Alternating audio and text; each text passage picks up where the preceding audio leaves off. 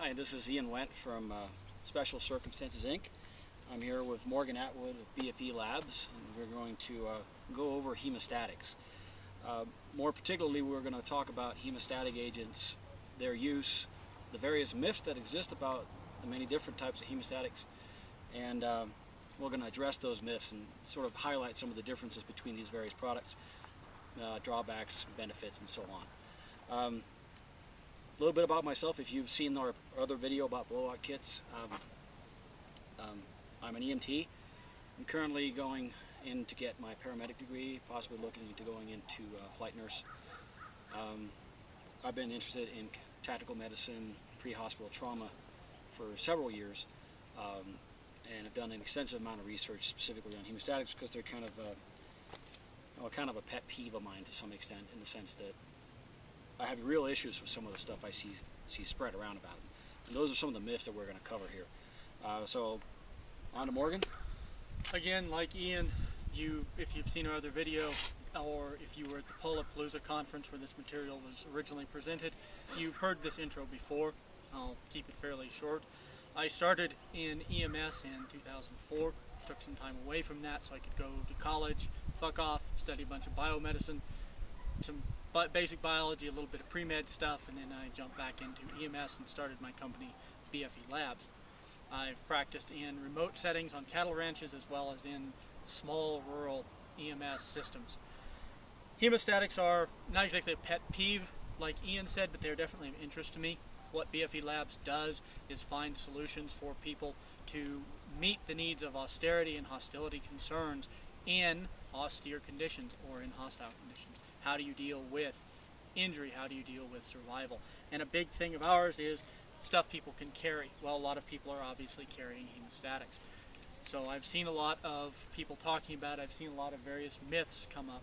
And like Ian, wanted to dispel a lot of that. So that's what we're here for. And before we really get into the meat of it, um, I just want to give good, due credit to um, Sam Medical for supplying us with some of the training materials that we used at the Paul-E-Palooza um, and some of the material that we actually used in our other, in our other video about blowout basics. Um, we couldn't have done it without the help from Sam Medical or from Z-Medica or Combat Systems. Combat who, Medical Systems. Combat Medical produced. Systems, pardon, who supplied uh, a lot of the QuikClot combat gauze uh, that we've been using, including we, the trainers. For several years now, if you've trained with BFE You've probably played with these little moulage units from Combat Medical Systems. At Paul-E-Palooza, if you played with those, I want to shout out those units were not ours. We borrowed a complete moulage kit that belongs to Caleb Causey of Lone Star Medics. We are in no way affiliated with Lone Star Medics, but it was a real pleasure to meet Caleb and we really appreciate him loaning us some equipment while we were out there. And I just wanted to toss that out. If you're looking for good medical training, you should look there. Absolutely. And Caleb will go almost anywhere except your garage. Except your garage but he will he will put on a course pretty much anywhere in the country. And the information that Caleb uh, provides via, via Lone Star Medics and their uh, X course, and it is X Medicine. X Medicine, yeah. Or Medicine X. I can't remember. It's Caleb will tell It's you. quite good. Uh, definitely recommend checking those guys out. Yeah, they presented at Paul-E-Palooza. It was a real pleasure to sit in on about half of that before we had to go get ready for ours. So, uh, the original hemostatic that most people think about when they hear hemostatic agents is probably going to be QuikClot. Uh, specifically the granules. Uh, it wasn't the first one in use uh, in recent recent history. Um, the first one was Hemcon, but the Hemcon 4x4s. Technically, actually, well, the, the first one was dry fibrin yeah. sealant dressing. But one soldier received that at a cost of $1,000 per dressing, and then Hemcon came along. Yeah. Hemcon, well, Hemcon was originally a 4x4 pad just like a regular small 4x4 yeah. gauze pad. Chitosan but on had one chitosan side. applied on one side, one side only. There are a lot of shortcomings with that format because you had to take this small 4x4, slightly stiff compared to a regular piece of gauze piece, and you had to get that chitosan side up against the exact site of bleeding. If that's buried inside of a gunshot wound, by the way. time you get it in there, it's so mangled and twisted, you're not getting hemostatic effectively applied so, on the site of bleeding, nor is there enough mass there to do much good. Very limited use, usefulness as far as that goes. And it was reported in the field over and over and over again that there wasn't much. So eventually, uh, QuikClot granules came on the market, um, and basically it, it, was largely what it sounds like. It was a pouch filled with a coarse sand-like material. Uh, this material in question was a zeolite mineral. So sand, the type. Kind of, yeah. The- Mineral, small, small granules. The interesting thing sand. with But- the interesting thing with zeolites in general are they have a lot of industrial uses, but their unique quality is that they are they have a, a, an absolutely massive surface area. They're incredibly porous. So about a teaspoonful has the same surface area as a football field if you were to unfold them, so to say. Um, number of issues with the granular format. Um, wind was a problem. It was incredibly uncomfortable to get in the eye, and it was light and small enough to get blown around by wind. And then there was just the issue of, of the original. Well, originally when it was issued, they were basically told it was magic fairy dust, and you poured it on something, and ta-da, they're good to go, and they're back stop. on the field. That's not how it is. you would have a wound, and let's say my hand here is actually a wound cavity. It's down like this, but your actual site of bleeding is going to be down here in the bottom. But this whole cavity here is going to be filled with blood, and you've got this guy with this pouch of small granules, and he's just pouring it in. A little bits blowing off this way. It's collecting on all of this wet surface up here from small bleeding from the capillaries and things near the surface, as well as blood welling from the bottom and it may not even be reaching the actual site of the major hemorrhage down here at the bottom. And you're just shaking it in like that. Yeah. So, um, the uh, the other main issue, and this is actually where we get into some of the mythology. Uh, the other main issue with the QuikClot granules were that uh, they did have what's called a, an exothermic reaction. In other words, they generated heat, um, a fairly substantial amount of heat, um, enough to cause uh, discomfort and in some cases outright burns. However, the burns were largely caused by misapplication. And the burns were largely minor. In a study of what was it, 107, 103. 103 soldiers who had the original formula QuikClot applied, and I believe the Iraqi theater. Well, this was um, was that particular study is a, is a combined study. Uh, some 60 different cases from combat theaters. Uh, the rest were civilian Okay. and uh, operating room use. Out of those 103 studies, three reported cases of burns, two of which were second degree, one of which required a uh, one of these burns, which I guess was a third degree, required a skin graft. Only one. So here we have a wide range of uses being applied by medical professionals, being applied by grunts in the field, being applied by civilian EMS, and we have three cases of burns in over a hundred cases. I'll take those odds if that Oh, means absolutely. One thing about it, and you heard this a lot initially when the original formula QuikClot was out there, was that well I'll take some burns if it means I live, and that's absolutely, particularly given that the burns were indeed actually minor.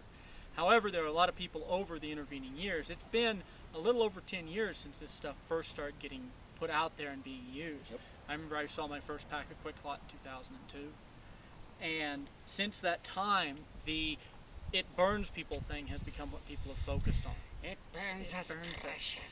To the point that no matter what formula you have now, QuikClot has changed. QuikClot is still on the market, but it's a much different product now than it once was. You still run into these myths. Not only that, you run into myths with other types as well. Because of what happened with QuikClot, because of what's happened, or some concerns have been raised with some other products. Another product that you see creating concern a lot is actually one that's not even available any longer. It was a product called WoundStat. WoundStat was another magic fairy dust the military had.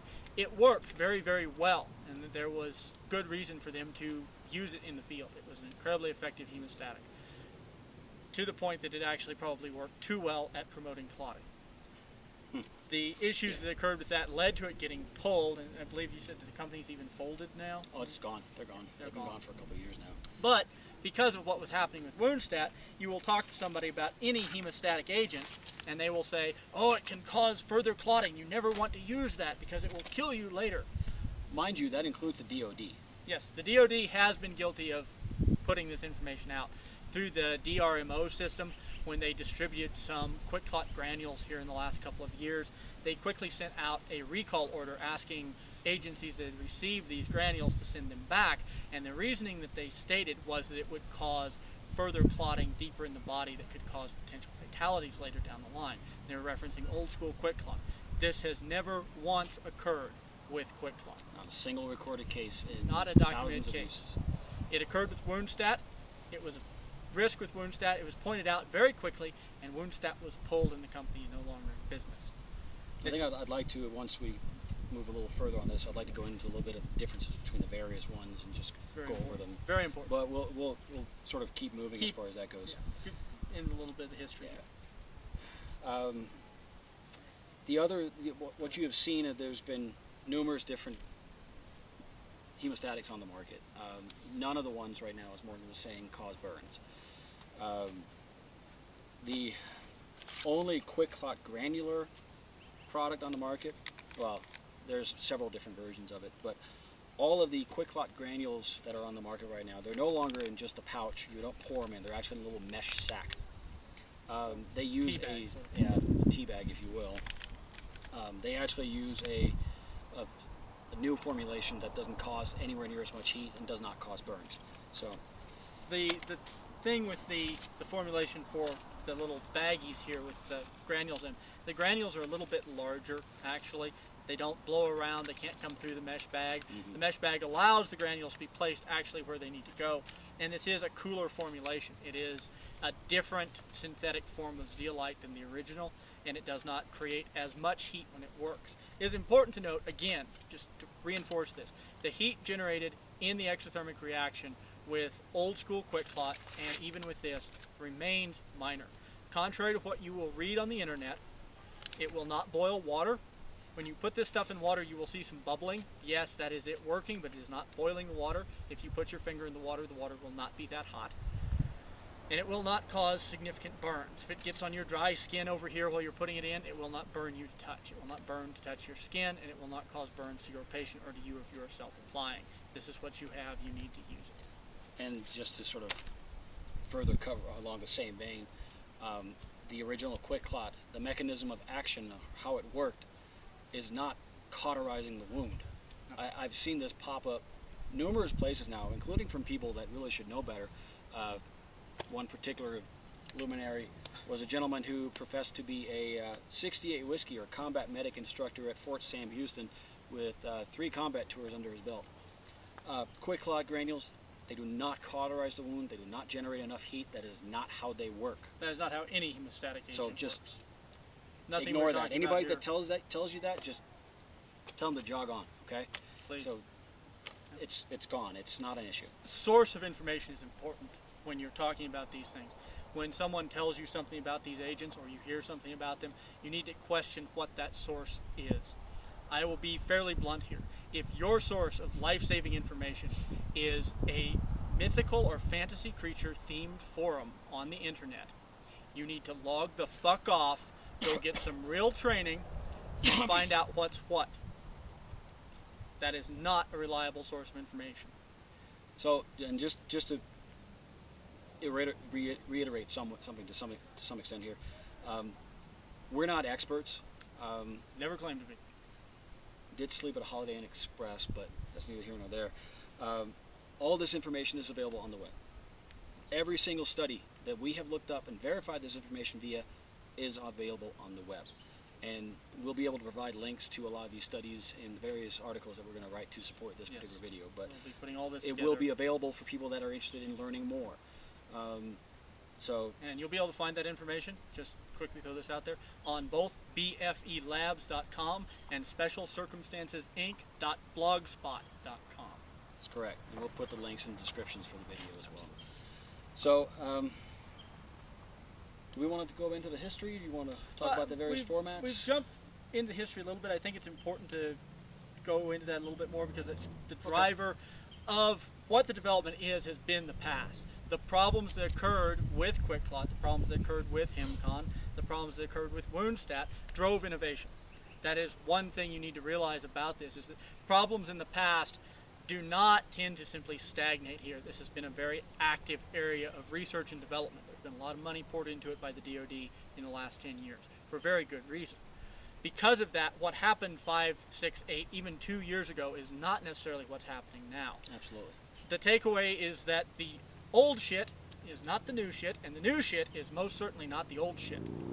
The new stuff is much different works differently, and the things you heard five, six years ago no longer really apply in terms of problems.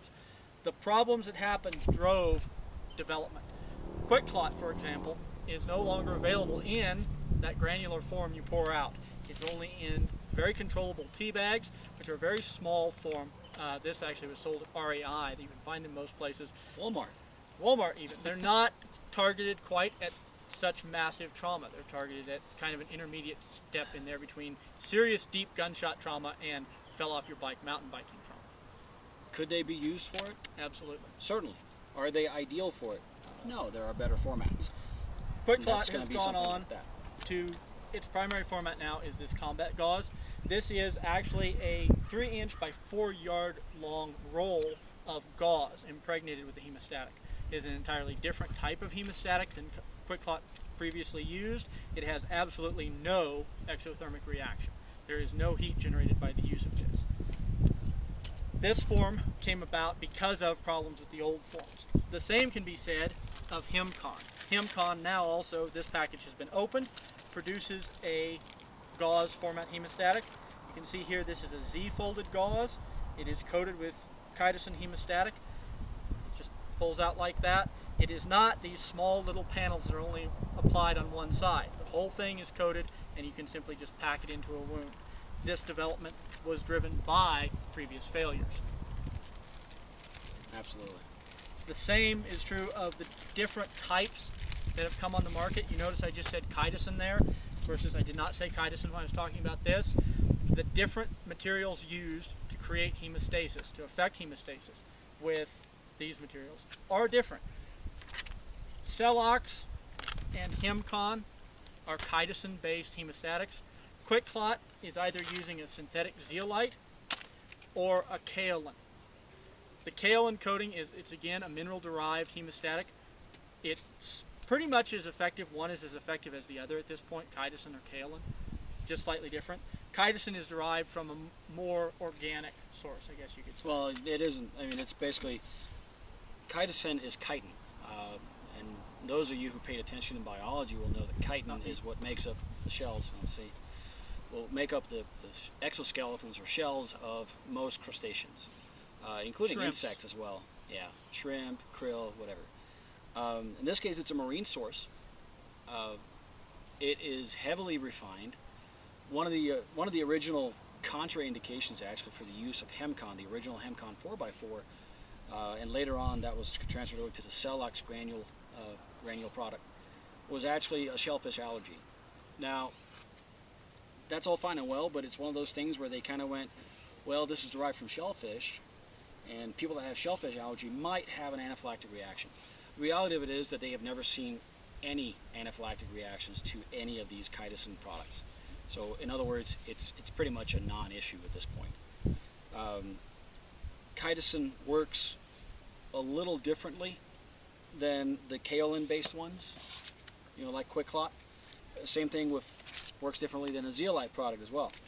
Um, one of the one of the limitations of the original QuikClot, the cooler formulation and the little mesh bag, and the combat gauze is that it will not work.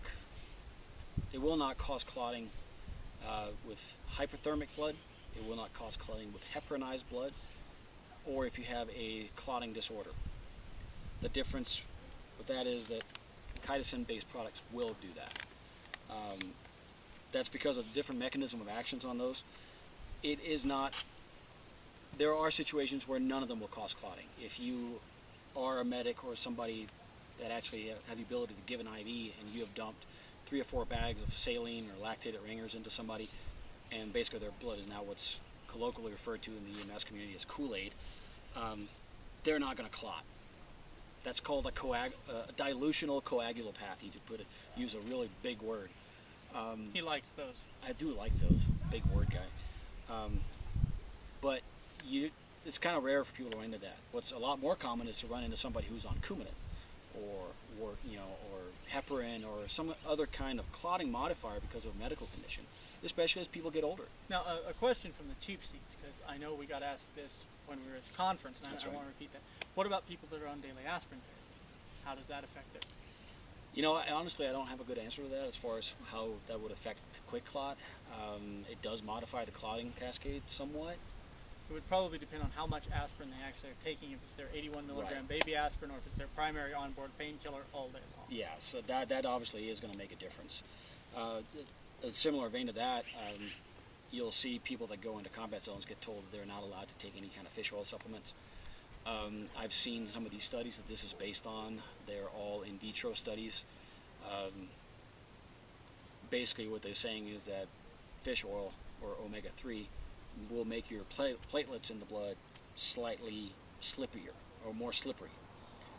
Um, whether or not that actually has an effect on actual clotting in a in vitro model or in the actual living organism is apparently unknown at this time. Uh, my personal experience with that has been that I clot just fine even when I take as much as six grams of fish oil every day, which is a significantly higher dose than most folks. Um, that is entirely anecdotal. I have zero. I mean, I have a sample size of one on that, so take it for what it's worth. But my he did personal try to cut off that, his finger to find out, though. I, I did, yeah, I almost did it too. But um, I'm not concerned about it. I clot just fine, three to five minutes, which is the standard clotting time for somebody with a healthy clotting response. Um, so take it for what that's worth, but that's my take on it. as we're talking about the different materials that actually make up these hemostatic agents, you also we need to talk about the different forms that they actually come in, the different Mhm. packaging sizes and things like this. All of these things do contribute to making a selection. More the size is going to contribute to your making a selection of which one to carry and what it's made of, unless you do have an extant coagulopathy that you are concerned with. Again, like Ian was just saying, if you are concerned with that, then obviously a chitosan-based hemostatic is the one for you size is going to be a big deal. Um, they come in all manner of sizes. The QuikClot combat gauze is relatively thin, flat, and small. All of this is actually excess packaging. Now, I have a small complaint with a lot of excess packaging on medical stuff. If, you, if you've read the blog, you know this. Um, also, if you're one of the manufacturers, I've sent hate mail about this. You know this. Uh, I have never made myself popular with any of the manufacturers in this community because I call them on what I see as bullshit, and I'm a nobody. Please do something about it, though. Yeah, but Please. if you're listening, we'd like it. We understand, or I understand, that the excess packaging does provide good grip. You have something to actually hold on to here and tear apart. If your hands are wet, if they're shaky, whatever. But for a lot of civilian users, it would be beneficial to actually minimize this packaging so you actually only are dealing with the object in its native size. I end up folding mine down. I have a Ranger band holding my blowout kit together here, and the edges of my QuikClot Combat gauze are folded down. I would also end up taping this in another format to get it out of my way, which is going to slow me down for actually getting it out and open. But anyway, it's small stuff. A lot of the rolled gauze products are not. This is Celox gauze, which is the coated kind. It is coated with chitosan versus Celox trauma gauze, which is actually entirely made from chitosan. There, there's a fairly important distinction there between what you can do with those two dressings. Mm-hmm. You were talking with Sam Medical about this, I believe. Yeah. So I mean, this is a, a, a flexible chitosan dressing, and it's made entirely from chitosan.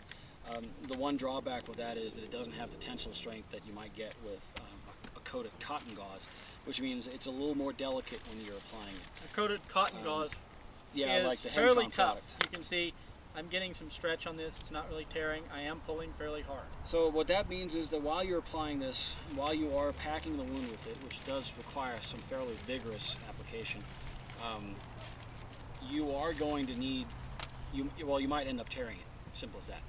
Don't let that slow you down though. Just keep packing in until you use up whatever you had in your hand, and then keep on, you know, pulling it out.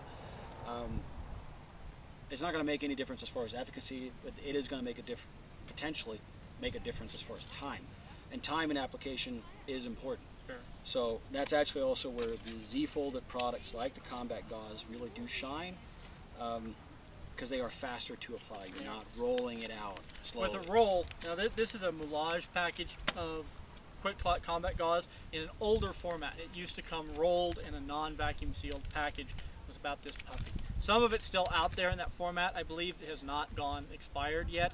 and a lot of you guys are still carrying stuff past the expiration date because the expiration dates are somewhat meaningless. We will get into that in a little bit. But when you're dealing with the rolled gauzes, you end up having to take them actually out of the package to get much use out of them. If they're still in the package like this and you're trying to fiddle this out, you're trying to fiddle this around and pull it out and it's it's fiddly. You're going to end up just yanking it out for simplicity's sake and letting it hang as you're packing it into whatever wound. With the Z-fold gauzes, you don't have to go to all that trouble. You can actually just string it out like tissue out of the package. You're keeping your material clean and you're Mhm. keeping it dry.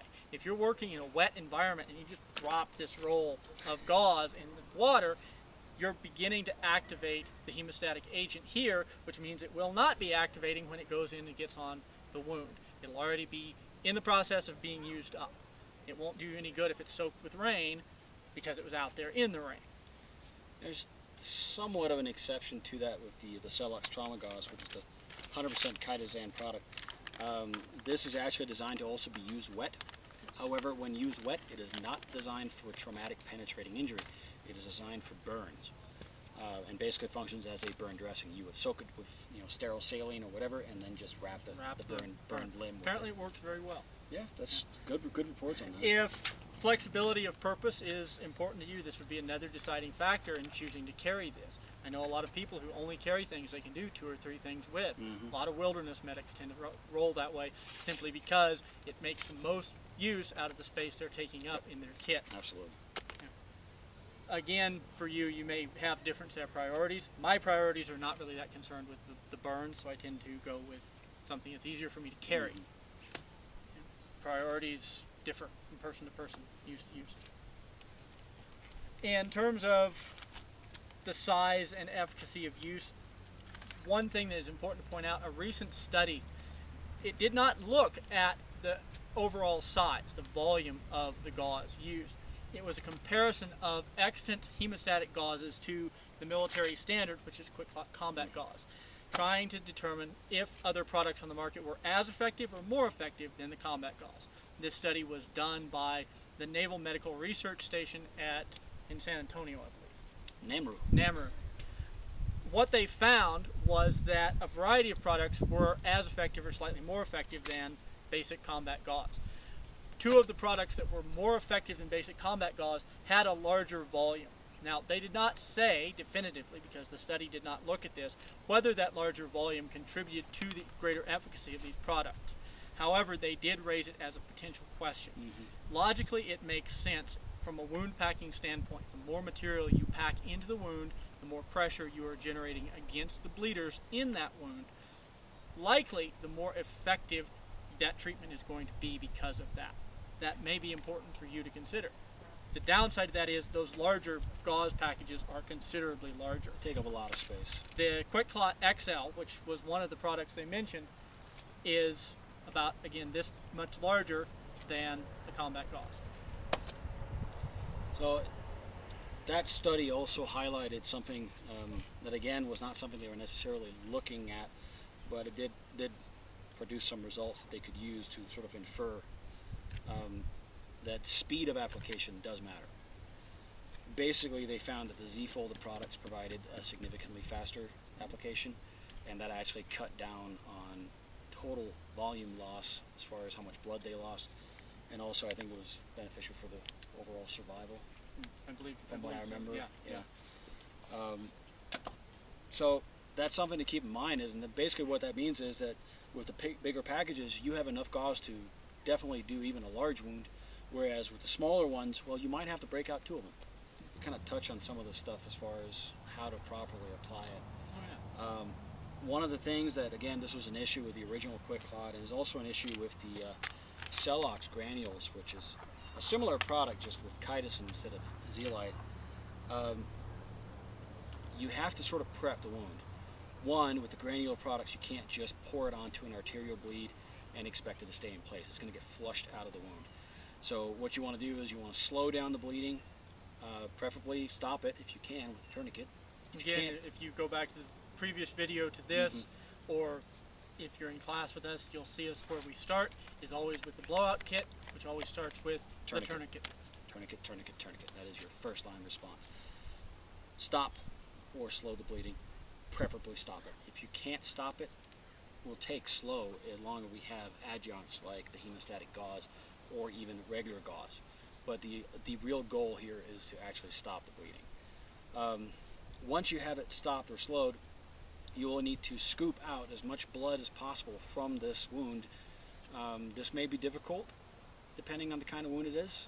It may also be a large gaping thing that you can sort of reach in with a wad of Kerlix or something and scoop out. Th- This is a, a good reason why, if you have room in a larger blowout kit, you should Carry carry both hemostatic gauze and plain gauze, Kerlix Mhm. gauze, roller gauze, whatever you want to call it, so that you have non-hemostatic gauze to essentially do scut work with, and it's also available for bandaging, sling and swab, and other tasks you Yep, might come into Absolutely. need for.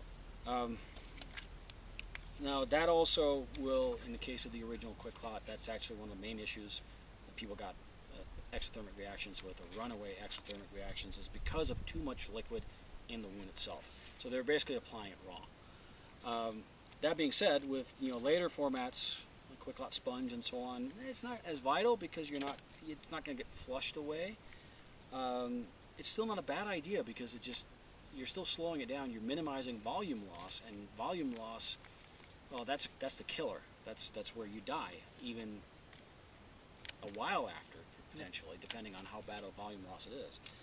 So you want to stop it as fast as possible, and that's really where the tourniquet comes in. Uh, this is going to keep it stopped, hopefully. That's one of those myths that you run into, going back to that myth and misunderstanding thing, is you'll see a lot of guys who, because this is small, they'll only carry this, or even though this is big, they go, well, I only have room for this, I only carry hemostatic.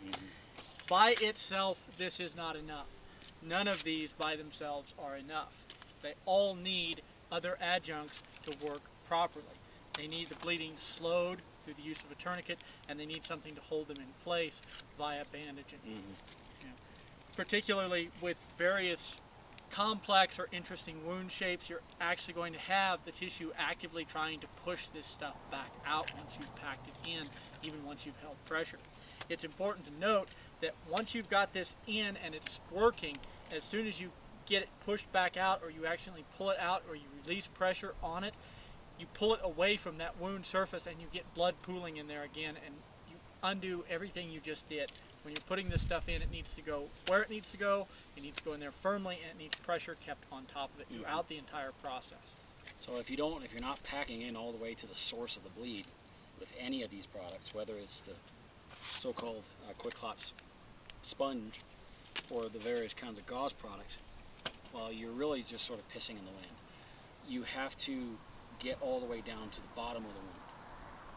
Uh, if you don't, you're going to have this nice occlusive layer of QuikClot or chitosan gauze or whatever you have, and you're going to have this big cavity of blood and it's going to start bleeding into the surrounding tissues, and eventually you might end up with a lot of swelling around, say, for instance, an, you know, a, a leg wound or something like that, or these very highly vascular, uh, highly vascular areas.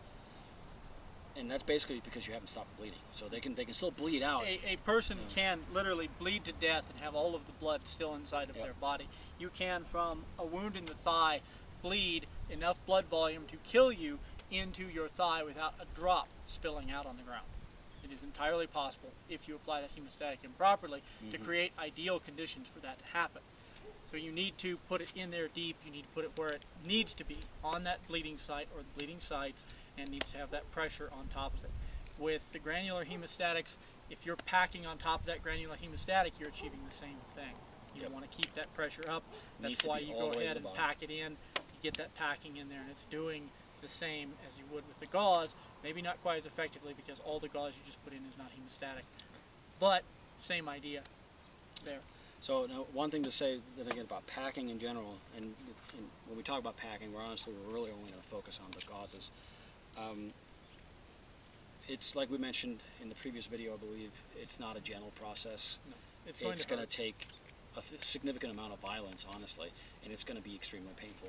If you're doing this to yourself or having it done to you, you are going to be hating life. if you have the Um, resources available and you're doing it to someone else, you probably need an assistant to keep their hands on the shoulders yeah. of whoever, Hold them down. and you may actually need somebody to actually hold someone down. If you're doing this to yourself, you're going to have to simply steel yourself and get it done. If you don't think you are that tough, you need to actually reach deep down inside and think about what's important to you. Going home, family, kids, and what harder men have done. There was a Russian surgeon in Antarctica in the 60s who removed his own appendix with no drugs on board because he was the one performing the surgery. He performed it with mirrors, patience, and an iron will. A If little he could local, but well, yeah. If he could do that, you can pack a hole this big around with four yards of gauze. It's probably worth it. So when you pack, and this is something that it's kind of we'll, we'll try to actually do a, a close up of that, but um, it's kind of like tightening the nuts on a wheel. You go back and forth, so you're trying to sort of fill the entire cavity. You're not just going in like this. Not You have to sort of go into all the corners and the little crevices of the wound itself. So it, it's, it is a fairly involved process, but it is something that can be in short. You're going to be to be taking your quickly. gauze here, a couple fingers. We'll say again, we use this mock wound cavity. Our bleed is down here, so we're not putting gauze here at the top without any down here. We're going to be poking this all the way in to the bottom. We're going to be doing it again. Now, doing it properly, it's going to be over and over and Mhm. over, Yep. so you keep that pressure continuously on top of that gauze. That may be a problem if what you're doing is on your own arm or something, but you'll do the best you can. If it comes down to getting as much volume in there as you can so that there's nothing to do, but every time you poke something in, it's cramming it further in the bottom, keep putting volume in there and get it down into the bottom. You brace your arm against something if you need to. Keep doing it. do You will find to. as you if you practice, and again, we're big on this idea of practicing these skills. If you practice self-care, finding an upright, a pillar, or a wall or something to brace against can help a lot. I'm going to pretend Ian is a pillar. If you're trying to hold a bandage onto your arm, leaning against that wall will help you hold that to actually secure it. Same with if you need actual back pressure so you're not flinching away, find a wall, find the ground, and pack it in Mhm. like Ian was saying, when you get that packing going, you're going to the bottom, but you're going to the bottom down here, then you're going to the bottom up here, then the bottom over here, the bottom over here, and all points all around. You're working all the way around that wound. If it's one of these complex, kind of torn up things, you're getting gauze into all those crannies and nooks every time you pack it in there. Most gunshot wounds are not a clean cut, you know, perfectly round cavity. There will be some distortions and so on, especially if the bullet fragmented or expanded. This is also particularly true of shrapnel wounds. Very blast so. injuries that have carried pieces into the body. Also, a lot of knife wounds can be very complex. Mhm. You see some that are just straight in and out, really pretty and clean, and then you get really nasty fuckers that like reverse edge methods and will shank a knife into you and use those big back muscles to pull through. I don't consort with people like that. I do all the time, unfortunately. That explains it. It does. Those kinds of injuries can be fairly complex, you're going to be packing all over the place. So you want to make sure you're going all the way around as you're packing. You know, some people refer to it as you know north, south, east, and west. I like Ian's like working lug nuts. You got to get your star pattern going to get the tension. Like Ian said, we will shoot some video actually of getting a good pack on an artificial wound, or if we happen to come across one on the drive home, a real one. We can always hope. You never know. As long as it's not anybody here, you know, car accident or something. Hey, can we borrow your patient? Cool. We'll do that for you. That's how dedicated we are to you learning this material. See what I have to work with. I think that's all we have for today, folks. Yeah. Uh, quick rundown again on the myths and things. Starting at the top with QuikClot and burns. Burns were an issue, but not a big issue. Nope. You're talking about very minor burns. One documented case out of 103 that required a skin graft. That's not a significant burn. You know, he did not die from his burn injury, not permanently maimed other than that little patch where he had the skin graft. He's fine. New QuikClot is entirely different.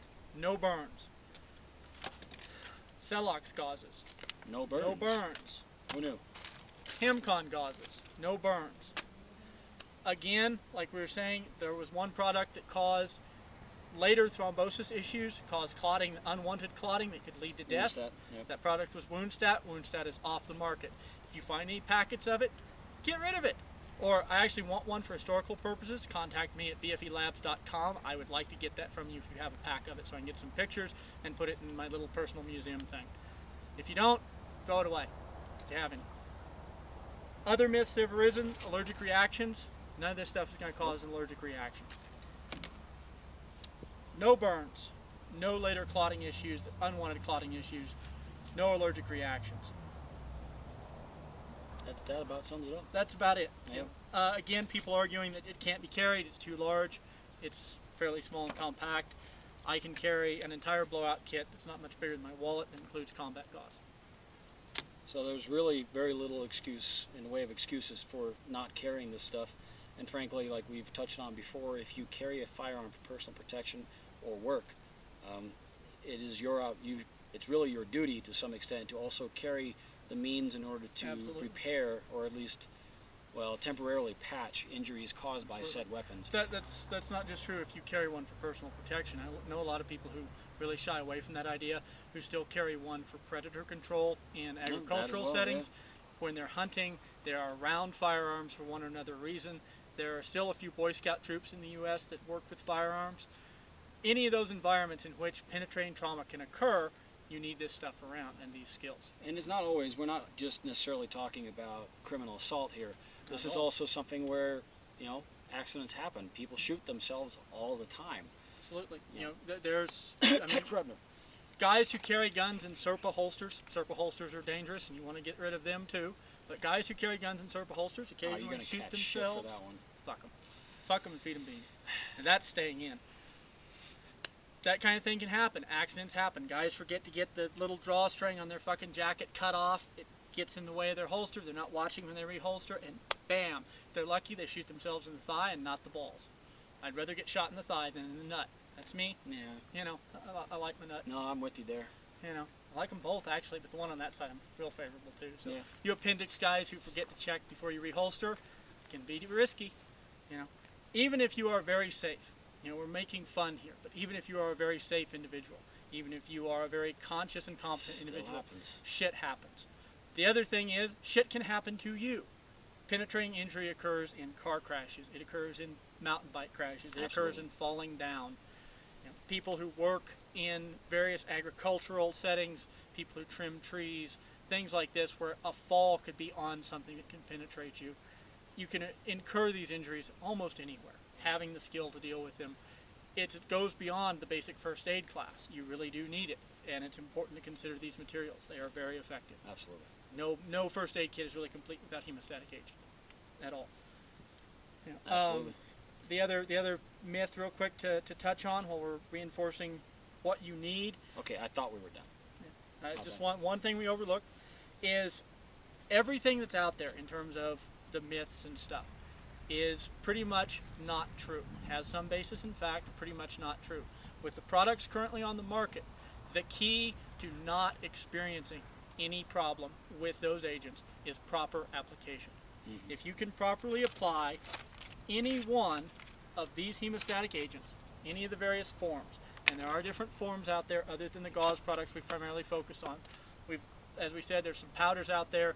Celox also makes an injector type thing. It looks like a great big syringe. You put it all the way to the bottom of the wound, and you just push and pull back, and it deposits hemostatic agent from the bottom out.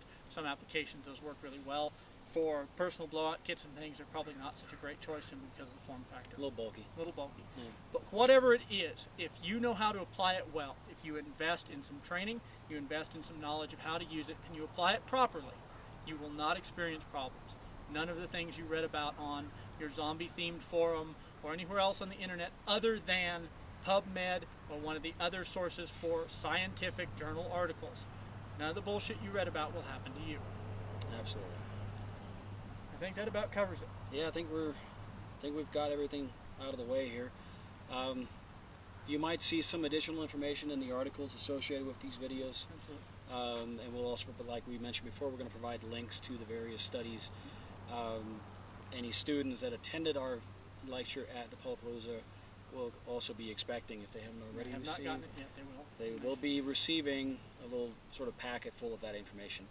So, um, uh, I believe the blog various site posts are also going to be open for questions. They will. So the, the comments will be left open. by all means, ask questions. If you feel like something wasn't answered, we will answer them to the best of our ability. Uh, we'll note this video will be going YouTube. YouTube comments and questions tend to get ridiculous. Don't tell me the camera died. Okay, good. YouTube comments and questions tend to get pretty ridiculous. Uh, I tend to avoid answering questions on YouTube simply because of the amount of trolls and retards. There will be corresponding articles available on our blogs.